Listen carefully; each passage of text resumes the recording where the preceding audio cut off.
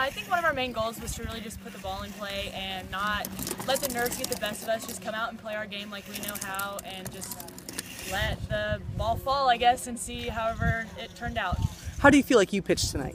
Um, I feel like I pitched well. Um, it was really easy to pitch with my team behind me. I knew they were going to have my back. I knew no matter what I was going to do with the ball that they would get it and they would protect me, and it was just great knowing that they were there, and it just put me at ease. Tell me a little bit about this team because it's it's a it's a pretty different team from a year ago, isn't it? It is. It is very different than a year ago. It's um, not t- totally new. There's some veterans. You know, we've got some returners. Um, Lauren Buchanan, Georgia Schwartz. We just have um, a lot of.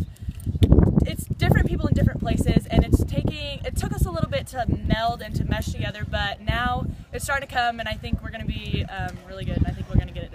Well, you guys certainly have all the expectations on you always. Yeah. So, I mean, what do you think? Can this team live up to expectations? I think so. I think um, we, as long as we don't get too worried about nerves and everything like that, you know, we have great players on the team. Where This team is full of great hitters, great players. You know, everybody's willing to make sacrifices for everybody, and it just takes that. And I think um, we're just gonna play and not let anything like great expectations worry us, and we're just gonna go out and have fun.